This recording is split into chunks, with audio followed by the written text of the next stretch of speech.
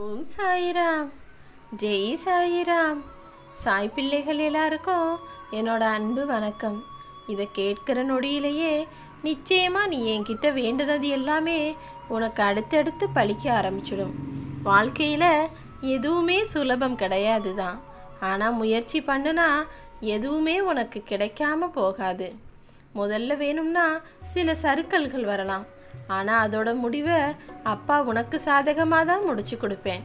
காலங்கள் மாறினாலும் சரி எத்தனை தாமதமானாலும் சரி நீ நினச்சதை அப்பா நிச்சயமாக உனக்கு நடத்தி கொடுக்குறேன். வாழ்க்கையில் சில பாடங்களை நீ கற்றுக்கிறதுக்காக தான் பலவிதமான உன்னால் சுமக்க முடியாத கஷ்டங்களை அனுபவிச்ச.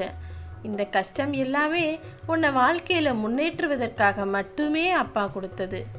நீ எப்படி தான் வாழ போறியோன்னு நினச்சவங்க மத்தியில் நீ எப்படி வாழ்கிற பாருன்னு உன்னை அப்பா எல்லார் முன்னாடியும் ஒய்யாரமாக மேலே தூக்கி வச்சு உயர்த்தி பிடிப்பேன்.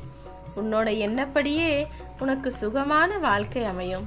அதனால் எப்போதுமே தூய்மையான மனசோட யாருக்கும் எந்த கெடுதலும் நினைக்காம நேர்மறையான எண்ணத்தோட நல்லதே நடக்கும்னு நினச்சிக்கிட்டுடு உன்கிட்ட இல்லாததை நினச்சி கவலைப்படாமல் உனக்கு கிடைச்சதை நினச்சி பெருமைப்பட்டினா அப்பா உனக்கு மேலும் பெருமை சேர்க்குற விதமாக உனக்கான நல்லதை அள்ளி கொடுத்து உன் வேண்டுதலை நிறைவேற்றி வைக்கிறேன்.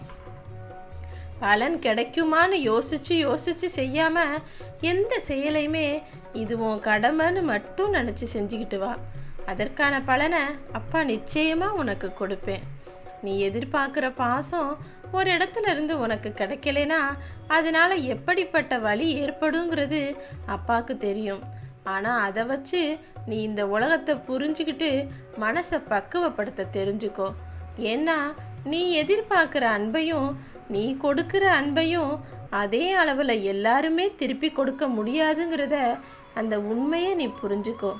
அது உன் மனசுக்கு புரிஞ்சுக்கிறதுக்கும் ஏற்றுக்கிறதுக்கும் கஷ்டமாக தான் இருக்கும். ஆனால் அதுதான் உண்மை. அது எப்படிப்பட்ட உறவாக இருந்தாலும் சரி எப்படிப்பட்ட நட்பாக இருந்தாலும் சரி நீ கொடுக்குற அளவு அதே அன்பு உனக்கு திரும்ப கிடைக்கும்னு சொல்ல முடியாது. அதுதான் உண்மை அதுதான் நிஜம். ஒரு செயல் உனக்கு எப்படி கஷ்டம் கொடுக்குதோ அதே போல தான் மற்றவங்களுக்கும் வலிக்கும்னு உண்மையை உணர்ந்தவங்க யாருமே மற்றவங்களை கஷ்டப்படுத்தி பார்க்கவோ காயப்படுத்தவோ மாட்டாங்க. என் பிள்ளைகளும் அப்படி தான் இருக்கணும்னு அப்பாவா நான் நினைக்கிறேன்.